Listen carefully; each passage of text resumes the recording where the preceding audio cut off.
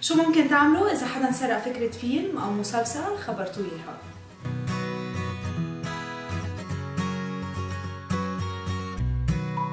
هاي وأهلا وسهلا فيكم بفيديو جديد على channel سلالي بهذا الفيديو رح نحكي عن ليه ما لازم تخافوا تخبروا أفكاركم للناس بس بنفس الوقت كيف تحموها من السرقة. خليكم متابعين الفيديو للاخر لتعرفوا كل التفاصيل ما تنسوا تعملوا subscribe تكبسوا جرس لحتى يوصلكم notification على كل فيديو جديد اعملوا like اذا حبيتوا الفيديو comment اذا عندكم اي سؤال واكيد share مع اصحابكم لحتى هن كمان يستفيدوا من المعلومات يلي عم نحكيها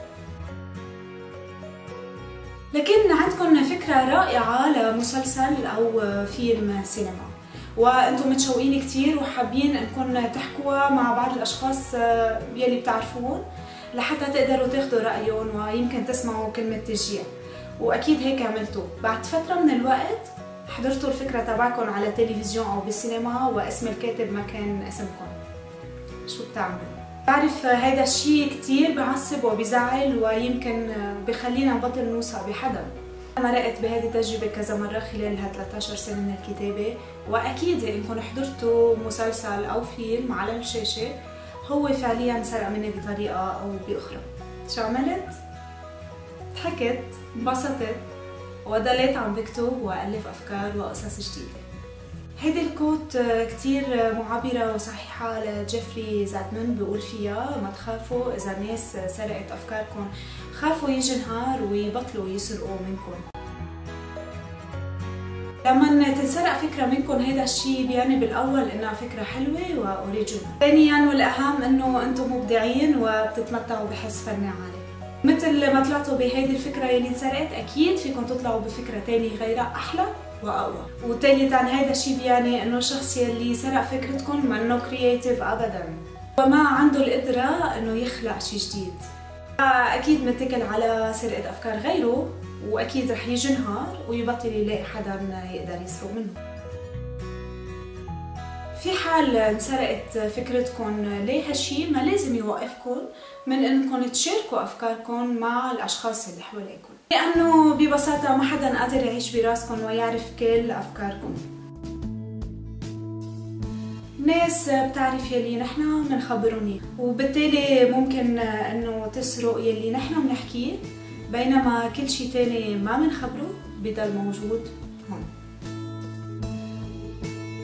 ومثل ما صار معي كذا مرة كنت أحضر فكرة قالتها لحدا وانسرقت وتنفذت بس كنت بكون مبسوطة ببساطة لأنه التنفيذ كان يكون فاشل. يعني صاحب الفكرة الأساسي هو أكثر حدا قادر إنه يكتب أو ينفذ هيدي الفكرة بالطريقة الصح والأنسب. بينما الشخص اللي بيسرق أفكار ما بيكون عنده الكرياتيفيتي ليقدر يحول هيدي الفكرة لقصة حلوة أو يزيد عليها التفاصيل اللي مفروض إنها تنضاف عليها.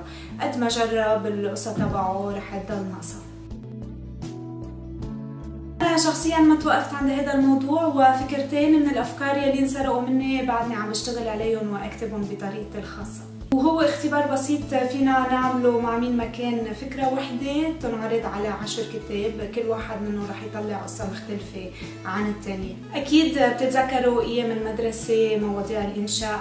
30 طالب كانوا يشتغلوا على موضوع واحد بس ولا بيبر كانت بتشبه غيرها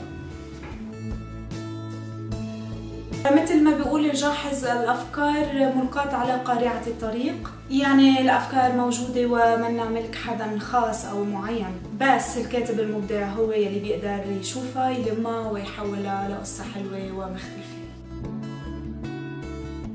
كل يلي حكيته قبل ما بيعني أبدا إنه ما لازم تحموا أفكاركم فكيف ممكن تعملوا هيدا الشيء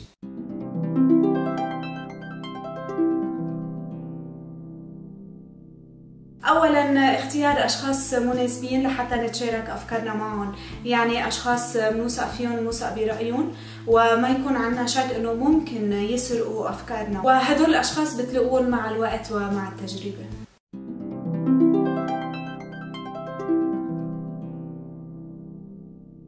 ثانيا على طول نسجل أسماء الأشخاص يلي عم نحكي لهم أفكارنا. حتى في حال سرقت فكرة من أفكارنا يكون في عنا لائحة بالأشخاص المحتملين. يعني بنخصص دفتر صغير لهيدا الموضوع وكل فكرة بنحطها على صفحة معينة وكل مرة بنخبر هالفكرة لشخص معين بنسجل اسمه وبنسجل التاريخ وحتى فينا نسجل تفاصيل المكان أو الاجتماع. وهيك بيكون كل التفاصيل موثقة عنا بهذا الدفتر. في حال انسرقت فكرة من أفكارنا بنقدر نرجع له وبنقدر يمكن نحذر مين من هالأشخاص ممكن بهذا الوقت سرق الفكرة تبعنا. المفروض يسجلوا أسماء كل الأشخاص يعني إذا كانوا professionals مثلا منتج مخرج أو ممثل ناقشتوا فكرة معينة معهم أو حتى إذا كانوا من الأصدقاء أو من ال family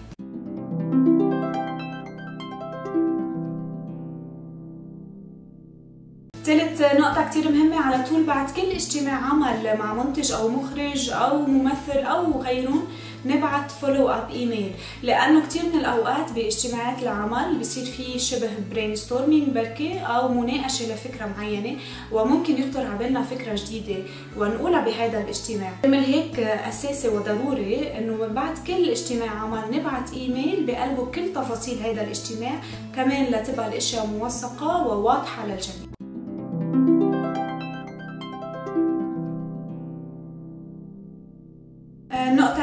وهي نقطة بديهية إذا كنتوا خايفين تحكوا مع فكرة معينة آه، لفيلم أو مسلسل مع أي شخص تاني المفروض إنكم تقوموا بتسجيلها بوزارة الاقتصاد وبهالطريقة بتستحصلوا على رقم خاص بيضمن حقوق الملكية الفكرية تبعكم. بعرف هذا الشيء مكلف وفيه مصاريف ولكن إذا كنتوا خايفين هالقد على الفكرة تبعكم فهذه هي الطريقة القانونية لحتى تحموها.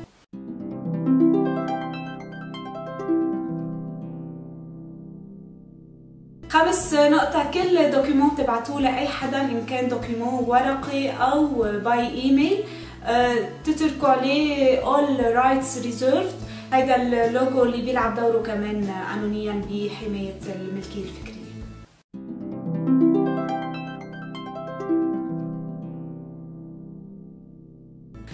سادس نقطة أكيد فيكم على طول تلجأوا للقضاء وترفعوا دعوى في حال حدا سرق لكم فكرة فيلم أو مسلسل خبرتوا إياها. ولكن كونوا حريصين بالأول إنه يكون عندكم دليل قاطع على هذا الموضوع. لأنه كثير من الأوقات ممكن حدا يسرق جزء من الفكرة الأساسية ويحولها لقصة ثانية ما ضروري إنه يسرق الفكرة كلها سوا. وهذا الشيء بالقضاء بيكون شوي صعب إثباته.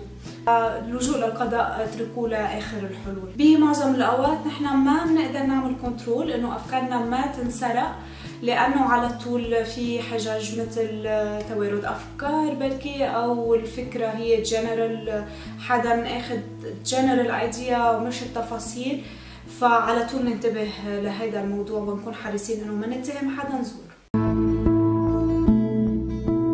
المهم تضلوا متذكرين دايما إنه ممكن حدا يسرق فكرة من أفكاركم بس ما حدا بيقدر يسرق ال creativity تبعكم.